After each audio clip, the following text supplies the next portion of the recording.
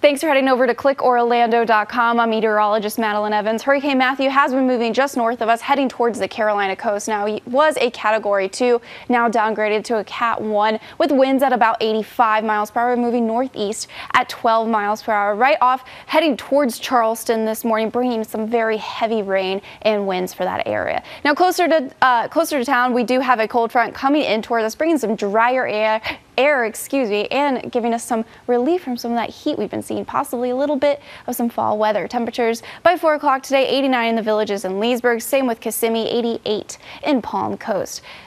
and same with 89 in Sanford. Winds around the town 13 miles per hour in Orlando, 12 in Leesburg, 15 in Sanford, 14 in Cape Canaveral. Could be gusting up more to 20 to 25 miles per hour as that still lingers due to Hurricane Matthew. Now your cause rain forecast, we are partly cloudy at 2 p.m., but no rain to worry about if anyone's going out and helping with some of that uh, debris from Hurricane Matthew. You won't have any rain to make it any harder on you. Same with Sunday, we're staying dry and into Monday. For your hour by hour today, 83 by by noon, we get to a high of 87. We are mostly sunny with some clouds, and we will have some windy conditions.